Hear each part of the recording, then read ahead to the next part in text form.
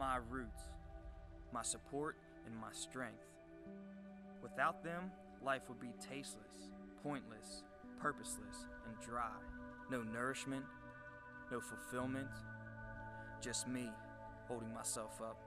But when my roots are in Him, I am unstoppable. Because when I hit my knees in prayer or open His Word, I know I'm not talking to something that is weak and powerless, foreign or non existent, but I'm tapping into someone, the one, who is sovereign and gracious, bold and victorious. He hears my faith and He knows my name. He has the magnitude, and I have the ability because of Him that is in me. These are my roots. I find my purpose when I worship Him, my belonging when I share Him. I am defined by Him, and it's in Him you find my roots.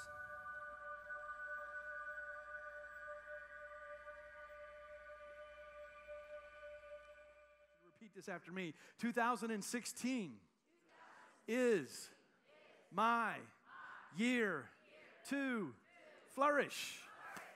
That's been our that's been the vision that God gave us, and we are declaring that this year. And we have said we, we said this along with that that to to flourish you have to be planted. And if you were with us last weekend, we made this declaration that to be planted you have to be rooted. Everyone say rooted. And so, if you're wondering why there's a tree growing out of the middle of the stage, it's because uh, it's our prop for this, this series, and we're talking about being rooted. And Jeremiah says this that a, a man who trusts God is blessed and he puts his roots down and they spread out to the waters. It's planted by the waters and the roots spread out. And in the time of drought, in the time of heat, he does not have to worry because he will continue to have fruit. His leaf will continue to be green. So no matter what happens in this crazy, jacked up, messed up world that you live in, we can still flourish. In, in a year when politics and economics and health scares and everything else is going on in the world, we can still flourish. And so we are we're declaring that. And so uh, uh, we looked last week as we kicked this series off, and we talked about what, what are the reason for roots? What, what do roots do? And we found out they did these three things. The first thing that a root does is some roots go down 200 feet. And, and, and let me say this, and this, this is an amen moment. Um, as you see this tree up here, you see the, you see the, the, the, the height of the tree, and you, you usually you see all the branches, and that represents your life. But what you don't see is what's under the surface. And there is more going on under the surface than you can often see. And in your life, if you've ever wondered if God's working, He's working under the surface. And if something wasn't happening significant under the surface, there couldn't be something significant happening above the surface. So there's some significant things happening underneath the surface that you can't see, and that's the root system. The first thing that roots do is roots absorb the water and they absorb the nutrients that are in the soil. And it works as a plumbing system that takes the water and nutrients up to all the branches. The second thing that roots do is they anchor a tree. And so that's how a tree can stand in a windstorm or in a hurricane or in a storm. Tree that is rooted well and established, it will stand. Just like your life will stand if it's rooted. If it isn't rooted, it will be uprooted by the first storm that comes your way. The third thing that, uh, that the root system does is it actually arms that tree. And what I mean by that is that, that nutrients and the water is actually stored in that tree for when it's needed. And it secretes a chemical that kills all of these microorganisms that would try to destroy the root system. And so you say, why, why, are you, why are you teaching us about agriculture? Well, that's not the point to the series. I'm teaching this because of the, uh, uh I'm making an illustration that we need some spiritual roots if we have some spiritual roots, we'll begin to absorb, we'll be anchored, and we'll be armed, and we can withstand the test of time, the test of storms, and any challenge that you go through. Amen. And so last week, we, we just began to talk about uh, uh, being rooted. In, in, and we have about, uh, including today, three, three weeks or four weeks total in the series. And so last week, we talked about how to be rooted in the Word of God. And so if you weren't here last weekend, I mean, the, the, the speaker was awesome. He was on fire, and um, he talked about being rooted into the Word. And we learned this. Uh, we learned how to receive God's Word, we learned how to declare His Word, and we learned how to do His Word.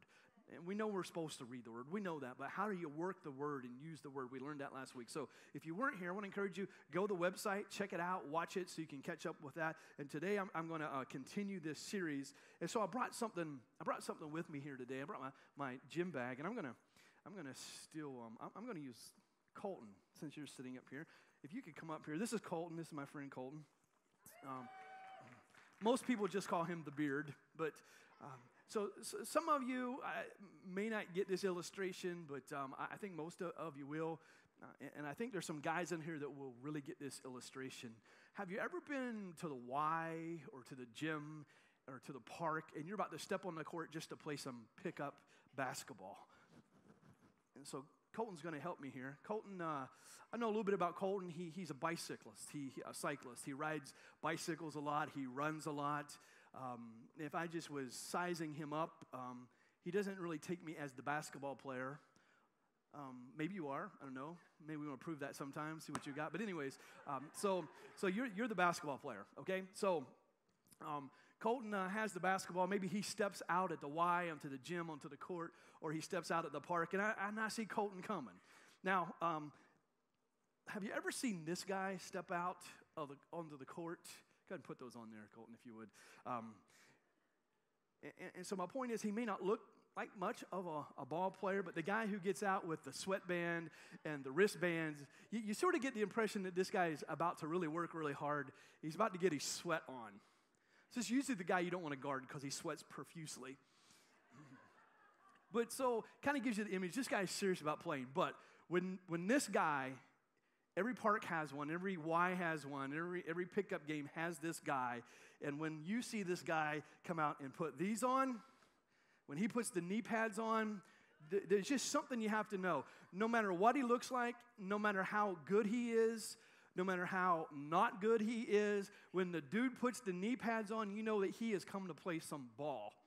And what I mean by that is he's going to dive after every loose ball. He's the guy that's going to guard you, and he's going to be stepping on you. He's going to be posting you up, boxing you out. He's going to be elbowing you. How many have ever seen this guy at one of the courts? I mean, it's just, it's that guy. And he, he, he, he, he may not be that talented at basketball, but when he puts the knee pads on, you know, this is what I'm going for. He's going to give it everything he's got.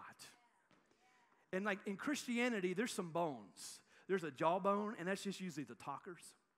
And, and there's, there's, the, uh, there's, there's the tailbone, that's just the sitters who don't do much. But it, in Christianity, one of the strongest bones is the knee bone, and here's why. What, what if, not, not literally, but what if we were serious about pulling out our spiritual knee pads and getting on our knees and learning to pray? You, you may not look the part. I mean, if I picked him, you know, uh, some of you might know Jamal who goes here, and he's like this tall. He's a basketball coach, and so um, if I brought him up, he would look the part. But but Colton's not as tall, and he rides a, a, a bicycle or tricycle or whatever you do. Um, I, I'm, I'm kind of picturing you as a speed walker right now. You know that guy, but but but but no matter if he steps on the court with the knee pads, you know he's he's serious. Thank you. Everybody, give it up for Colton. So I was thinking, what? What if we were just as serious about prayer? So I want to talk this morning about being rooted in prayer. And I want to tell you that this is something over the years I've had to kind of work and develop in my life.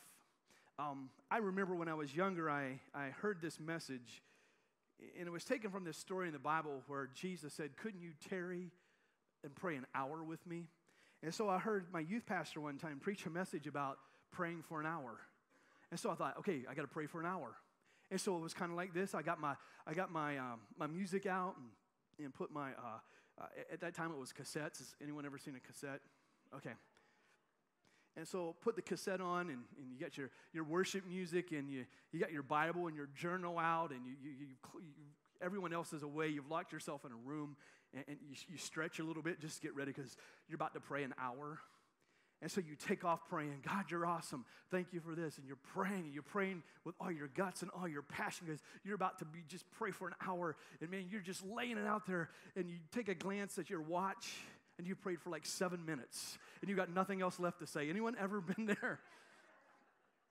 I remember in, in college, it was kind of a New Year's resolution, and me and a, a friend who played on the basketball team together, um, kind of a great big guy, and he said, uh, we, we said, we're going to get up early like 5.30 6 o'clock in the morning i'm coming over to your dorm room and we're going to pray every morning first morning i'm halfway awake i'm walking over to his dorm i sit down on the edge of his bed he's sitting here and we just start praying and like 45 minutes later i wake up laying on him and he's laying there and like hey uh, couldn't make it. And so this is what I learned. I, it's not an issue of how long you pray. It's not an issue if it has to be an hour. Really, here's the best thing I can tell you about prayer is just make some time and just do it. If it's 10, 15, whatever it is, just to start to learn to pray. Because what the devil wants to tell you is you can't pray, you don't know how to pray, and he'll just talk you out of, of out of praying. And so I just want to challenge you. We all know we're supposed to pray. We know we're supposed to read the Bible. But so what I want to teach you today is just a few things about how to root yourself in prayer. And, and listen, I'm not here to tell you how long or where or any of that, but I want to give you three things today that I think will really boost your prayer time. I think it'll make you eager to go to go pray. And now my wife can can can just pray for, for she can sit down and just pray forever. And my mom's the same way. And it's awesome, except for at mealtime. Because they, they start praying, and then it's like, Lord, we just thank you for this food and send revival, God. Touch America. We pray for the elections, God. We pray for, and I'm like, I just want to eat my nuggets. I just want to eat the dinner. So, for, for those of you who are just spiritual giants and you pray for hours, just amen your way through. For the rest of us, I think I just want to help you this morning. Here we go. Luke, uh, Luke chapter Luke chapter 11 uh, is a very interesting passage of scripture, and it reads this way Now it came to pass as he was praying in a certain place, talking about Jesus, when he ceased, one of his disciples said, Lord, teach us to pray, even like John taught his disciples to pray. And that's a really interesting verse of scripture because the disciples had been hanging out with Jesus. And they saw Jesus raise dead people. They saw Jesus heal blind people. They saw Jesus um, touch cripples and they were made well. They saw him touch leprosy, which had no cure at the time, and they were healed. And you would have thought they might have asked Jesus, Could you teach us how to raise dead people? Could you teach us how to heal blind people? But no, what did they ask? They said, Teach us to pray like you're praying. Teach us to pray efficiently or teach us to pray effectively. Now, it's interesting. Out of all that they could have asked for, they said, Lord, obviously they saw a prayer lifestyle in Jesus, and they wanted to be taught to pray that way. Verse 2 So he says to them, So when you pray, and I'm about to read through a prayer that we've all probably prayed, and, and I always remember this prayer in a, in a kind of a silly way, but in high school, right before we would walk out of the locker room to take the field in football, our coach would just start praying this prayer, and we would all just pray along. And it was just kind of routine. And it was always weird to me because as soon as he said amen, he would just go into a cussing frenzy. Go out there and kick there, get out there. And it was like, so it was amen and just this cussing fest. So I had to learn to separate those two things. Um, so every time I read this prayer, it takes me to a weird place. But, but so it says this, uh, and, and you're welcome to just pray right along. But Jesus said, when you pray, say this Our Father in heaven, hallowed be your name. Your kingdom come, your will be done on earth as it is in heaven. Give us this day our daily bread and forgive our sins as we also forgive everyone who is indebted to us. And do not lead us into temptation, but deliver us from the evil one. And I'm not going to particularly teach on that. I think we understand the attitude and the motivation behind that. But verse 5 goes on and it starts to show us what I think the key that Jesus was getting at. And he said to them, So which of you have a friend and would go uh, to midnight and say to him, Friend, lend me three loaves, for a friend of mine has come to me on his journey, and I don't have anything to set before him. And he'll answer from within, and he'll say, Do not trouble me. The door is shut, my children are in bed, and I cannot rise and give to you. So I say to you, though, he will not rise and give to him because he is his friend, yet because of his persistence, he will rise and give him as many as he needs. So there's a story Jesus tells in the middle of this, and, and Jesus says, you have a friend who's come from a journey and he's come to your house, but you weren't expecting him, so you didn't have any bread for him. So you go next door to your friend's house and you knock, but the friend says, I can't come to the door. We're all bedded down for the night. My kids are in bed. I don't have anything to give you. Well, if you were in that situation, the Bible says you would continue to knock and you would be what? Persistent. I, want you to re- remember that word persistent because really it means consistent. And Jesus goes on and he says, what I think is the key here, verse 9. So Jesus said, So I say, with, with consistency in context, he says, I say to you, ask, and it will be given to you. Seek, and you will find. Knock, and it will be open to you. For everyone who asks, they what? And he who seeks, and to him who knocks, it will be. If a son asks for bread from any father among you, will he give him a stone? Or if he asks for fish, will he give him a serpent? Or if he asks for an egg, will he offer him a scorpion? Well, of course not. If you, being evil, know how to give good gifts to your kids, how much more will the Heavenly Father give the Holy Spirit to those who ask of him? So Jesus shows us, I believe, the key for us to learn to pray. And he says these few things consistently ask. And if you consistently ask, you're going to what? Receive. Consistently seek, and if you do, you'll find. Consistently knock, and it will be open to you. Now, let me explain the context of this.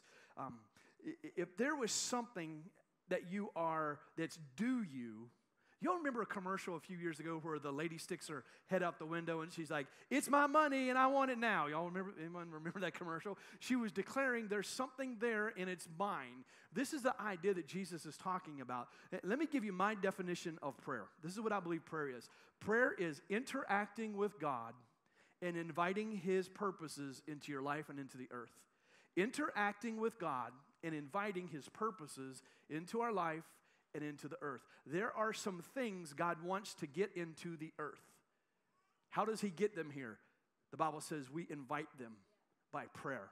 There are some things God wants to get into your life. How do you get them there? Well, I got to learn about them. I stand in faith and I pray. I ask.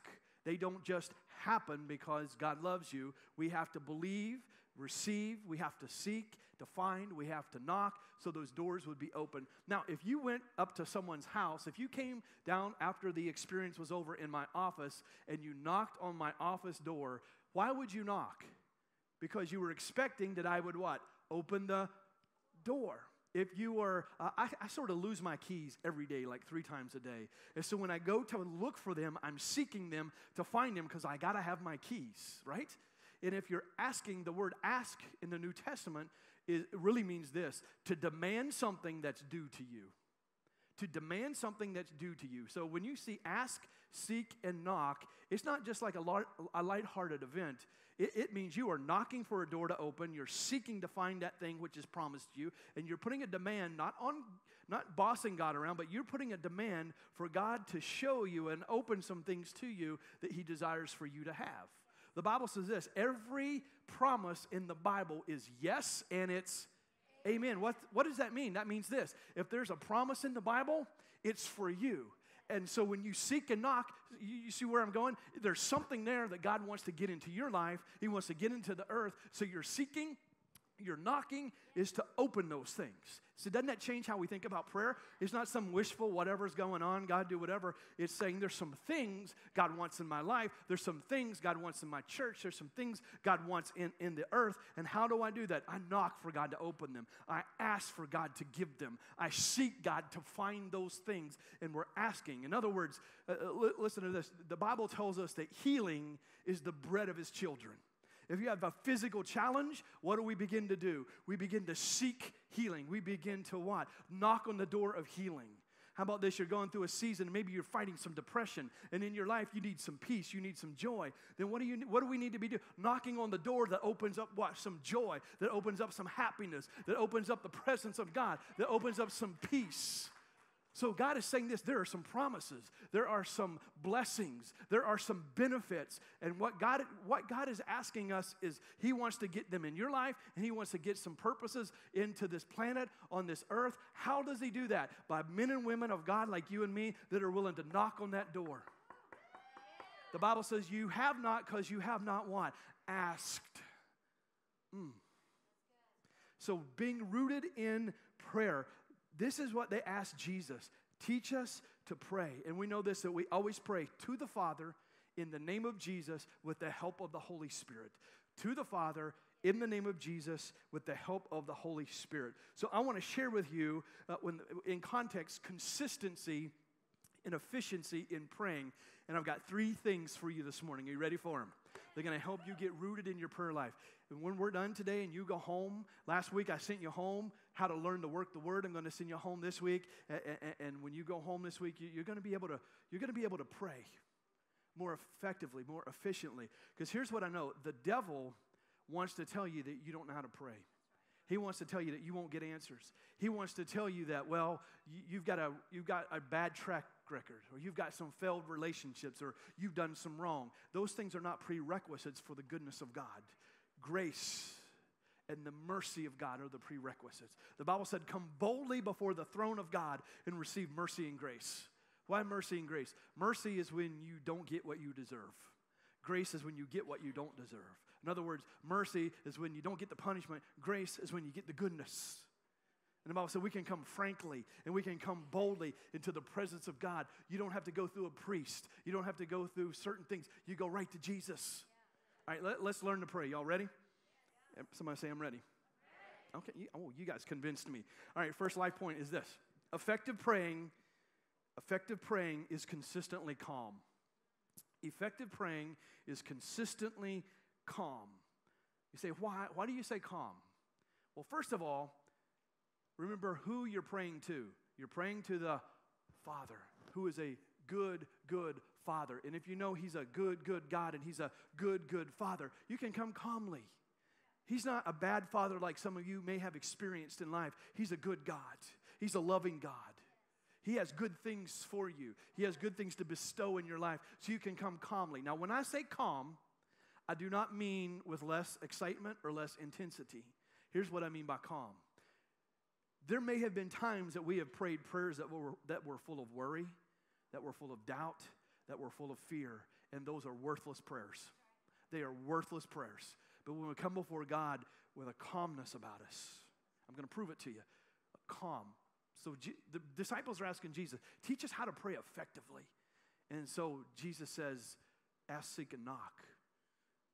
We pray efficiently by consistently praying calm. What I mean is, we don't have to pray freaked out. All right, let me prove it to you. Let me prove it to you. Okay, I got enough proves it. Okay, here we go. So, so worrisome, anxious, stressed out prayers, fearful prayers are worthless. Philippians chapter 4, verse 6 and 7.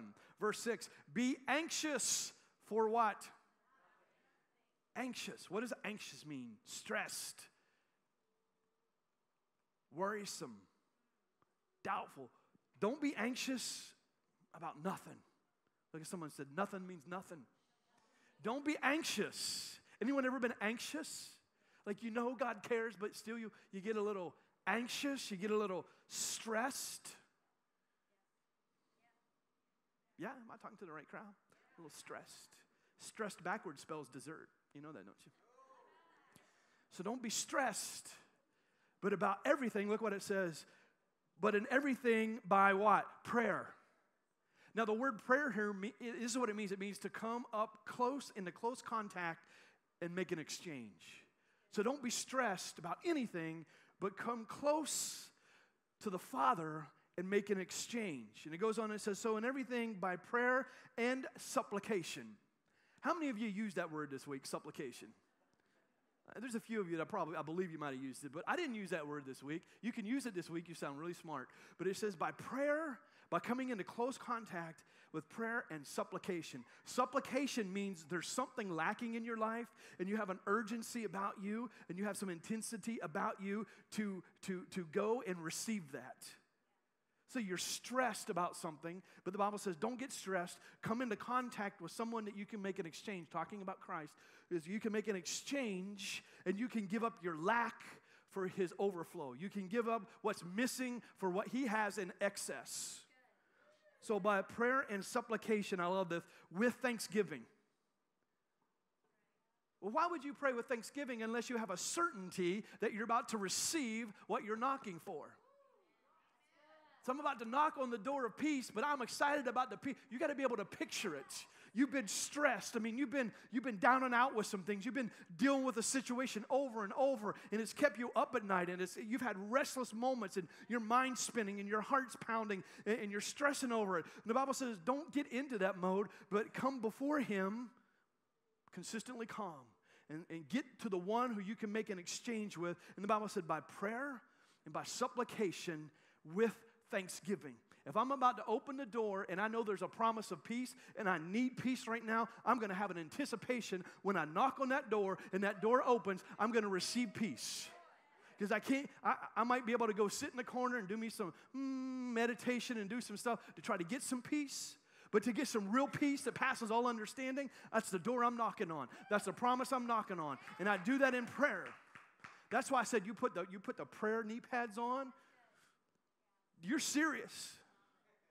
Come on, if you're tired of some, sometimes you've got to get tired of something being in your life. Sometimes you've got to get tired of depression being in your life. Sometimes you've got to get tired of lack being in your life. Sometimes you've got to get tired of sickness being in your life and saying, There's a promise there, and I'm going to knock, I'm going to seek. God's going to reveal something, He's going to open a door.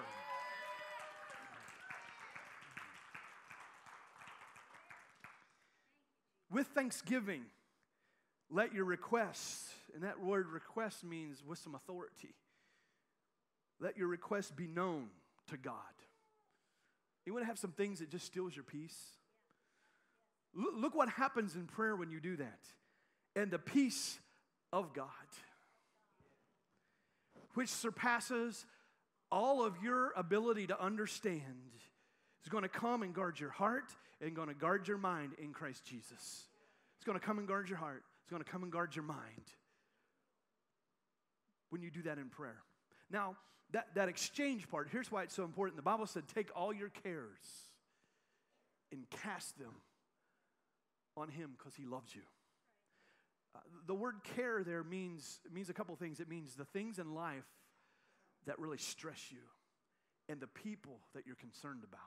The word care is the same word where we find that the word says, don't take concern over eating and drinking because God will take care of you. Don't take concern. It also is the same word in the uh, parable of the sower where the, where the weeds and the thorns choked out the word. It's the same word care. There are some cares in life trying to choke out the promises of God, trying to check out the, choke the blessings of God, trying to choke out the great things God has for you. And the Bible says we got to be able to take those cares and cast them on Him. But the word cast here means to fling them violently.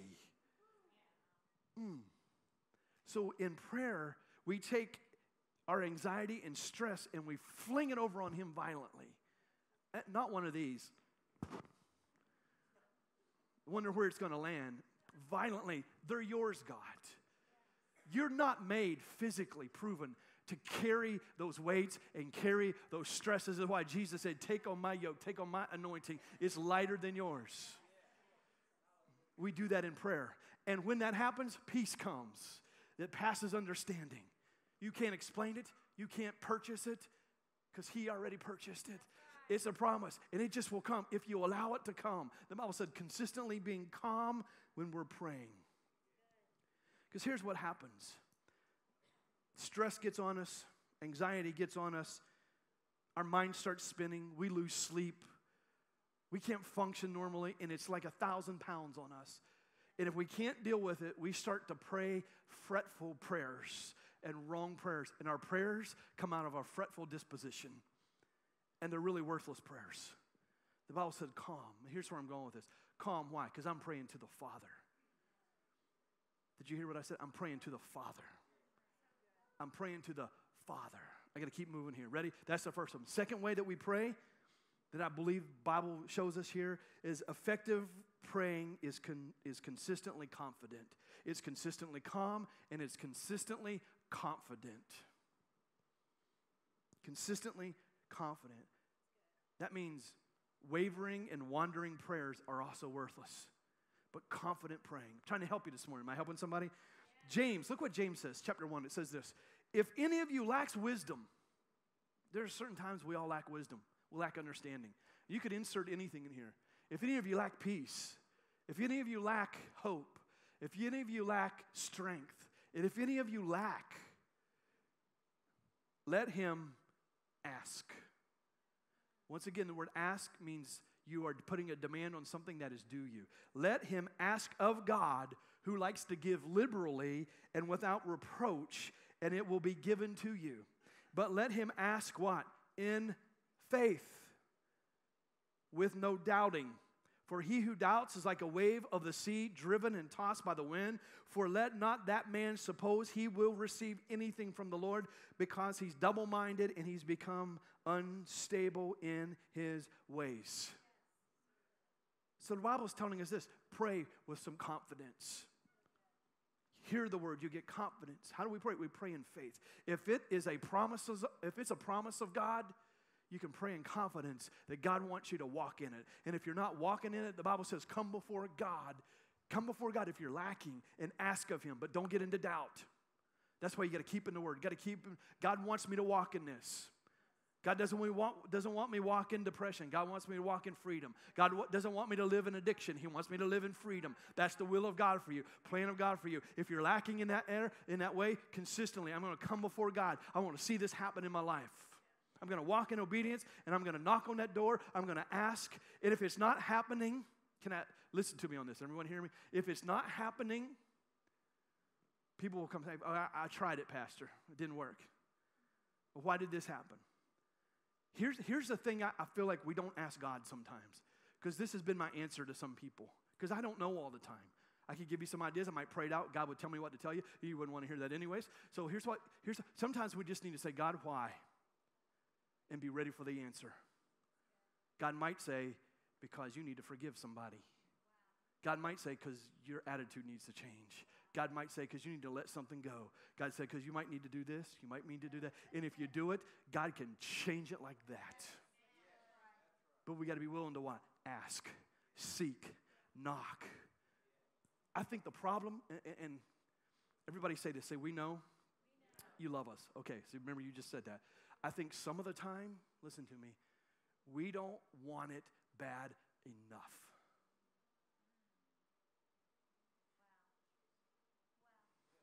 We think we do. We say we do. But would we be willing to change our thinking and our living and walk in some obedience and passionately get right with God and say, I'm going to let that go. I'm going to leave that alone. I'm going to change my thinking. God, you said it. I'm going for it. If we're willing to do that. Mm.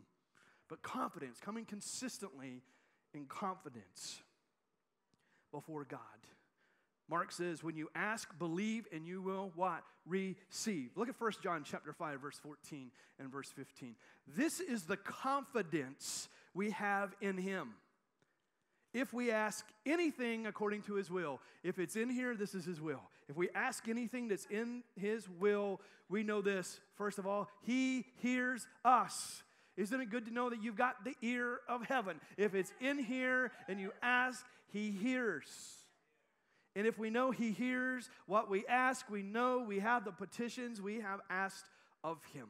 Now, I, I, did a little studying on that and I wrote this down, so I want to read this to you. Ready for this? What this means is there's an openness that stems from freedom and a lack of fear to speak. That's what this means here when it says to ask. That you, there's an openness that comes from a freedom and you have no fear to speak out and ask. I think that's pretty cool. This confidence is energized by the Spirit inside of you. And what it means is if ask means that you're asking for something with a sense of urgency, even to the point of demanding. And here's where people forget oh, you're telling us to just boss God around? No, but God's telling you put a demand on the promise. God wrote this, I didn't write this.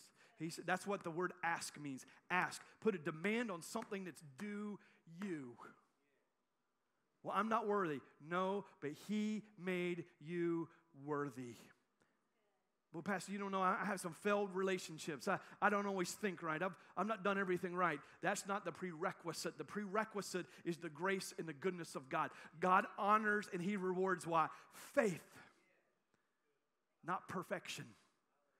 God honors faith, not perfect. Have you ever seen somebody, and this, this freaks out. People that have been walking with Jesus for a while, they struggle with this.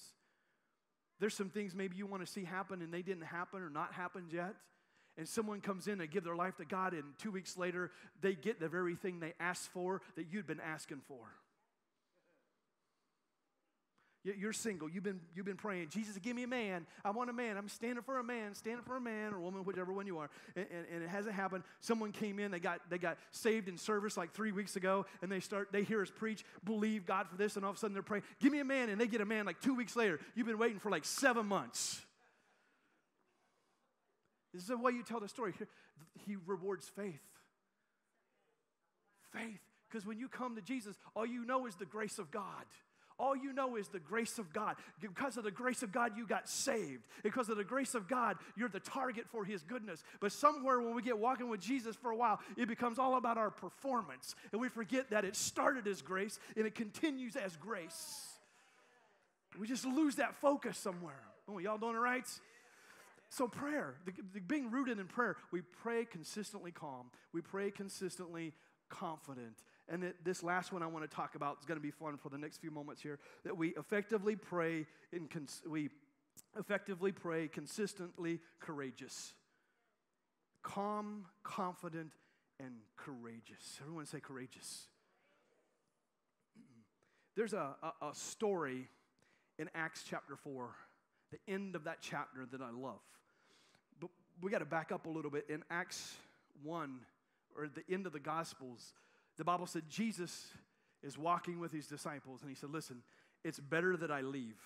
Now, can you imagine Jesus saying, Hey, I know we're raising dead people, we're, we're, we're reaching people, the crippled are getting healed, but, but, but it's better that I go. That's not what they were wanting to hear.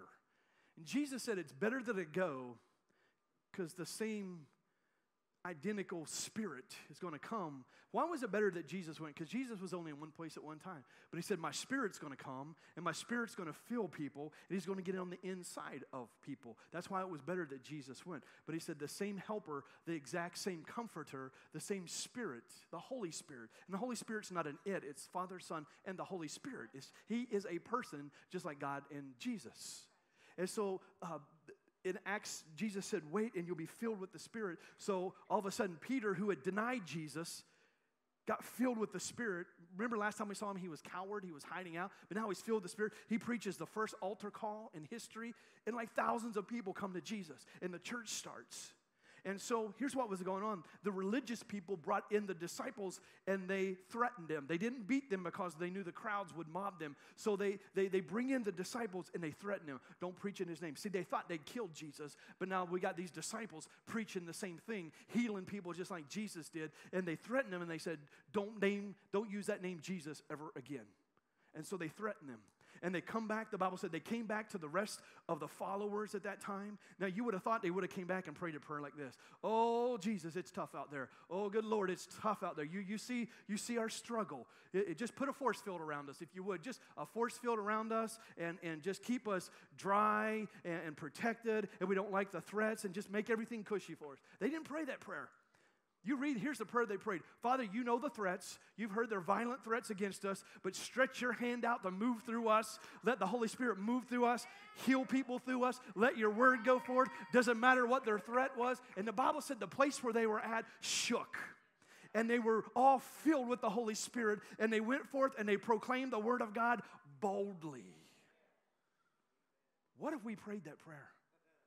Man, what if we prayed, God, you, you, you see the world we live in. You, we're dealing with ISIS and we're dealing with government. We're dealing with this law and that law. God, it doesn't matter. God, just stretch your hand out through the church and shake the church and let the passion fall on the church and let your Holy Spirit move through the hearts of us and use us so we're not about us, but we're about continuing the kingdom business. What if we prayed a prayer like that? What if we prayed a prayer? God bless my business so much that I can fund a missionary myself somewhere across the seas. Wow. Nothing wrong with God blessing you, but when we start praying prayers like that, it, it, it, it'll do what happened courageous prayers. They were filled with the Holy Spirit and they were filled with boldness. Now, I want you to think about this. The most powerful force on the earth is the Word of God the Bible said that God spoke the word and created everything. We have power in our words. The Bible said we speak and we frame our world by our words. What if somehow your words were always the words of God? Think about how powerful that would be. Well, the Bible says this when we are filled with the Holy Spirit, we're actually praying out and speaking not our words, but the words of God Himself. Weak prayers are also worthless prayers. How about we start praying some courageous prayers? Now, um, have you ever noticed this?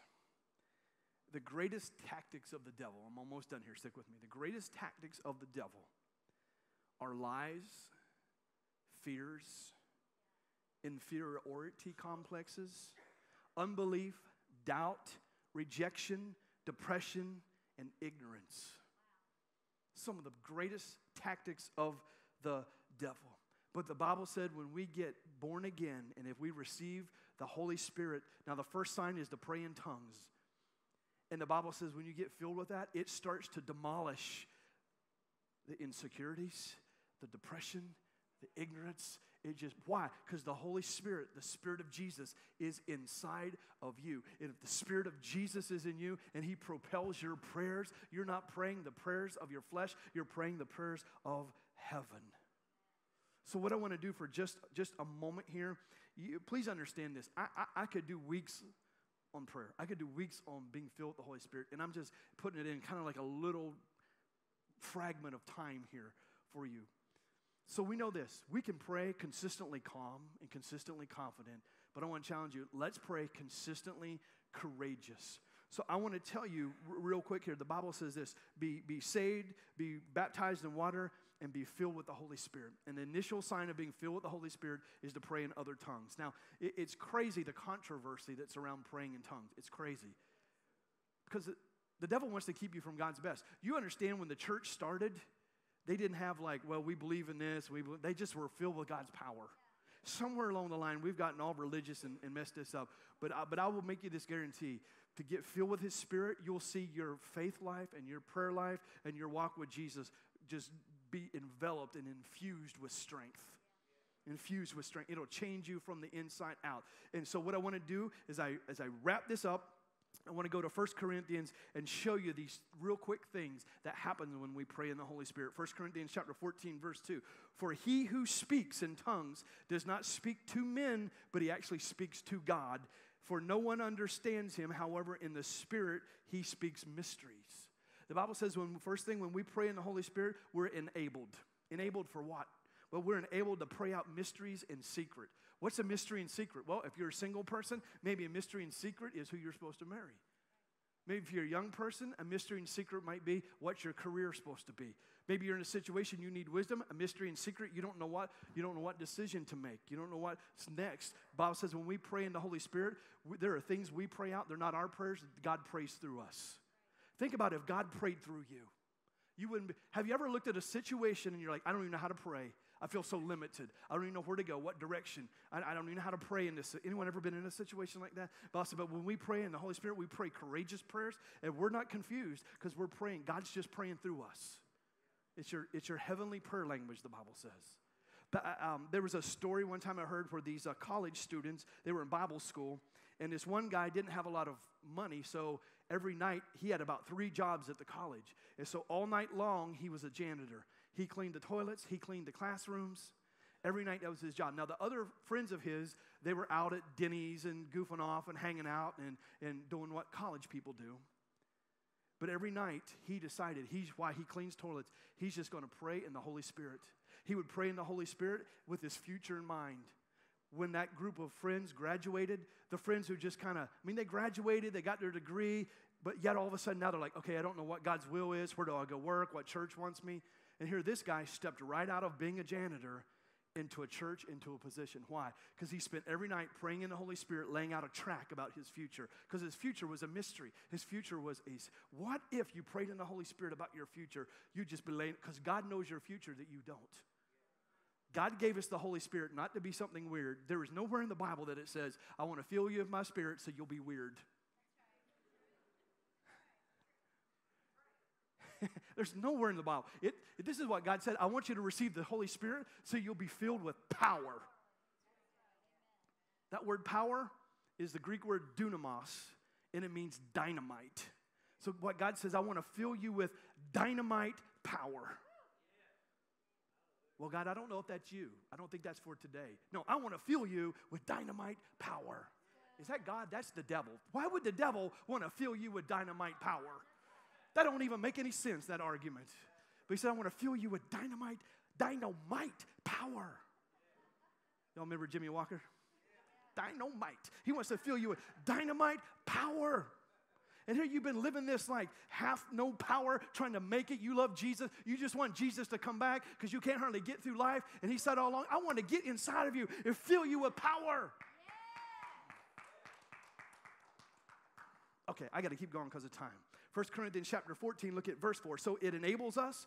Verse 4 says, He who speaks in tongues edifies himself. See, not only you enabled, but you are edified. You know what edified means? Built up. You know what it means right here? That you build a mega structure on the inside. Jude says when you pray in the Holy Spirit, your faith gets built up. Want to build yourself up against your insecurities? Pray in the Holy Spirit, it'll build you up. You know what? You can quote, I can do all things through Christ. I can do all things through Christ. I can do all things through Christ. But when you quote that and you're praying in the Holy Spirit, guess what? You'll know I can do anything through Christ who gives me strength. Because He always edifies the word, magnifies the word. Last thing, look at this, verse 14 and 15. For if I pray in a tongue, my spirit prays, but my understanding is unfruitful. What's the conclusion? Well, I'm going to pray with the Spirit. I'm going to pray with understanding. I'm going to sing in the Spirit. I'm going to sing with understanding. Paul said this I pray in tongues more than all of you. Ephesians says this be praying in the Holy Spirit always. Here's the other thing that does so it enables you, it edifies you, and, and, and it energizes you. Isaiah actually says when you pray in the Holy Spirit, you're refreshed. Have you ever just felt like you couldn't keep going? I mean, you love Jesus, you love the word, you go to church, but sometimes you're just like, I can't take it. I'm just, I feel worn out. Bible promises when we pray in the Holy Spirit, we're refreshed. So the, today, what I want you to receive is this. Just like last week, I wanted to teach you how to get rooted in the Word of God and use the Word of God. Today, I want you, I want to teach you how do I get rooted in prayer. Because see, you're going to need some roots when some storms come. I didn't say if they came, I said when they came. And you might be in a storm right now. Maybe you just came out of one. If you didn't come out of one and you're not in one right now, I got bad news. There's one somewhere down the road. We just face the storms of life. Not a bad face statement, we just face storms. How, how do you, we have to be rooted. Just like roots are there to keep us anchored, doesn't matter what storm comes your way if you're anchored. Those roots are going to absorb the good things from God and they're going to arm your life. We do that by knowing, not just read the Bible, but be transformed by this book, like we talked about last week. And this week, next week, we're going to talk about being rooted in worship. Don't miss that. But this morning, I'm not telling you how long you're supposed to pray or where you're supposed to pray or when you're supposed I'm just telling you these are some things this is how we pray. To be effective in praying, I'm going to be consistently calm. That doesn't mean I'm not fervent, but I'm going to be consistently calm because I'm praying to the Father. It's all good. Look at someone say it's all good. Why? I'm praying to the Father. I said I'm praying to the Father. And I'm going to be consistently confident. Why? Because I'm praying in the name of Jesus. Let's do something real quick here. Everybody say God. Now I want you to say Jesus. Say God. Jesus. See, there's a difference. Here's why. God can mean lots of different things to lots of different people. But when you know you say the name of Jesus, the Bible says every knee, cancer bows at the name of Jesus, diabetes bows at the name of Jesus, heart disease bows at the name, poverty bows at the name of Jesus. Every demon in hell launched on this earth bows at the name of Jesus. Don't believe me? Get up tomorrow morning, take your problem, tape it to your mirror, and say, In the name of Jesus, you're going to start bowing. You're going to start bowing. That's pretty courageous. Yeah. God doesn't want you just to barely get by. Just holding on to Jesus. Come back, Jesus. We're just holding on. Come on. He said, I'm going to fill my spirit. You're going to be full of dynamite power. We're praying to get out of here. God's saying, impact this world. I didn't call you to hide. I called you to call in the harvest. Have some boldness, power. We got a bunch of spiritual wimps in the church. Not you guys, they were on the early service. Guys, I'm going to get my spirit in you. It's going to change you from the inside out. So I'm going to challenge you. Let's start getting into the Word because when you get in the Word, the Word gets in you. And let's just learn to pray. I don't care if it's 10 minutes. 10 minutes praying right is better than an hour praying wrong. You can wobble around and fret for an hour in prayer, or you can take 10 minutes and pray heaven down. If you've got a 10 minute drive, turn off the morning show and just, I, I'm not saying you can't listen, don't take me wrong, just turn that off and pray in the Holy Spirit. If you've got a taxing job, if you're a teacher, if you're a nurse, pray when you get out of your car, you walk into school, all hell's gonna be scared of you. But don't drive all the way to work like, I don't want to go. These kids are not terrible. These kids these days. God, why'd you put me there? Just take us home, Jesus. Don't pray that prayer. How about pray, God, I know I can't get up and preach in school, but you can send the loneliest kids in my class. And I can just love them for six, eight hours a day, and they might be the next Billy Graham. Mean, they might be the next senator. They might, they might just, God, I'm a nurse. I'm so sick of these sick people. Just complain and sick. And how about you just pray in the Holy Spirit when you're on your way there, and something will happen that day that you weren't trained for, that you're able to do to save somebody's life. That's how God works. I remember one time God woke my, my wife up. She wakes up all the time and just prays. I wish I could tell you I did that. I wake up, I'm like, hungry. I'm hungry. I need an Oreo. but she just, I remember this one time she started praying. She didn't know why she was awake or praying. She kept seeing this little girl. She just prayed in the Holy Spirit because she didn't know how to pray. And like two days later, they found this little girl, and it was the little girl she saw in prayer, and she someone kidnapped her, and she got rescued. That's not because she's just awesome. It's like she decided to pray. I remember one time, this is years ago now. I, I, I know I got to let you out of here, but I um, I remember um, I was in college. I was a freshman. I was in Indiana, and I kept being woken up. And my mom said, if you get woken up with someone on your mind, just pray. If you don't know what's going on, pray in the Holy Spirit. So my aunt kept coming to my mind, and I just started praying in the Holy Spirit. I didn't know what it was for. So finally, I called home. I'm like, I keep, I kept praying for my aunt, and they said, well, they rushed her to D.C. with a heart attack or something like that. I had no idea. I hadn't seen her. I'm just praying. And she was, she ended up being safe. He said, Was that because you prayed? Probably. You know how many times God just wants to say, I got to get something done in the earth, but God does it in a legal manner. So He's going to tap us on the shoulder and let us pray. Have us pray. Praying is interacting with God and is getting the purposes of God into our life and into the earth. Let's all stand. Anyone get something good this morning?